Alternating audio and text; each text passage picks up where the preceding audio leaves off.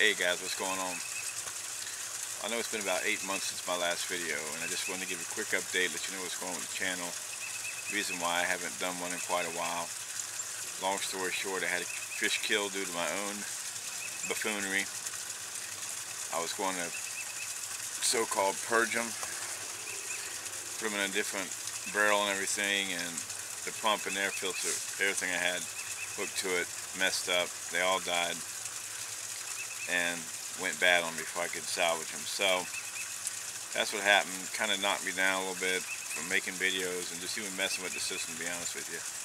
But one thing I found out, you do not need to purge them in these systems unless you're just running horrid water.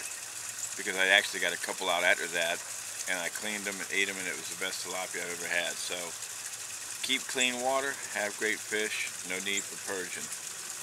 Just a real short video I wanted to do to let you guys know that, let you know I got a a bunch of stuff I'm going to get back to getting on. I've been real busy, but I want to get back to making some videos here on it and uh, be changing around the system. You see it behind me.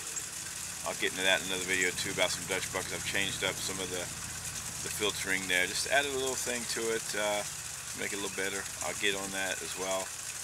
Uh, but thanks a lot for all the people that have been subscribing and continuing to stay there. I appreciate it. I know it's been a while and so I'll definitely be getting back with you guys and getting some more videos. So stay tuned and appreciate it.